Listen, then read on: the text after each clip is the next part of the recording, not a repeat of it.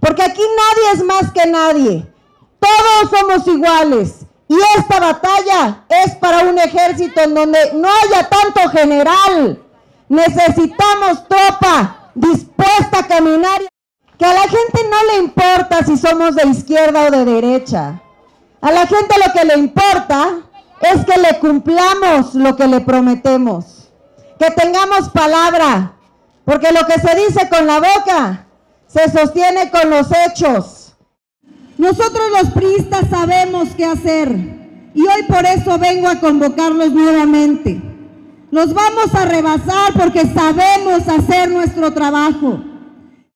Demostremos nuevamente por qué el PRI mexiquense es el mejor PRI de todo el país.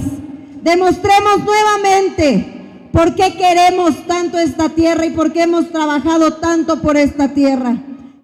El cambio está en ser valientes para trabajar con todos, aceptar la crítica y sumar todas las opiniones.